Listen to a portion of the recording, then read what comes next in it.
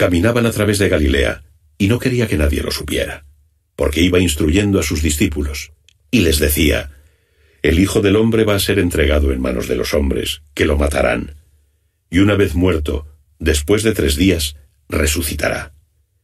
Pero ellos no entendían estas palabras y temían preguntarle. Llegaron a Cafarnaúm.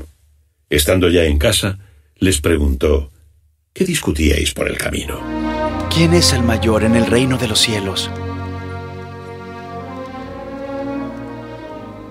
De cierto os digo, que si no os volvéis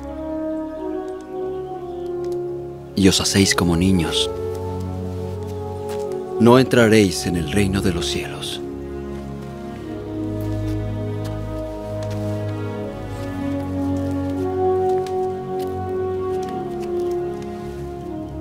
Así que cualquiera que se humille como este niño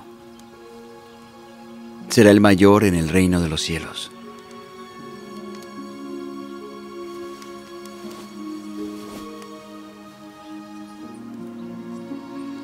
Y quien reciba a un niño como este en mi nombre, me recibe a mí.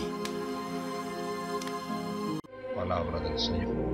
Mis queridos hermanos, hoy el Señor Jesús nos dice, si alguno quiere ser el primero, que sea el último de todos y el servidor de todos. Esta es la respuesta de Jesús también hoy para las discusiones que tenemos entre nosotros y andamos buscando quién es el más importante, quién es el más poderoso, quién es el que tiene más.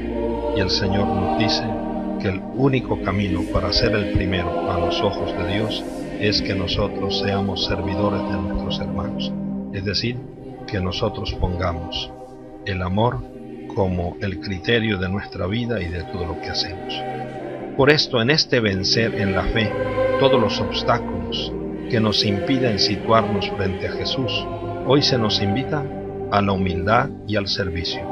Si alguno quiere ser el primero, que sea el último de todos y el servidor de todos. Y por esto el Señor Jesús nos dice, el que reciba en mi nombre a uno de estos niños, a mí me recibe, y el que me reciba a mí, no me recibe a mí, sino a aquel que me ha enviado. Tenemos que aprender a ser pequeños. Mis queridos hermanos, Queremos ser grandes, todos queremos ser grandes. Aprendamos a ser pequeños. Y Jesús nos dice que el camino es la humildad y el servicio al hermano. Un abrazo y que Dios les bendiga.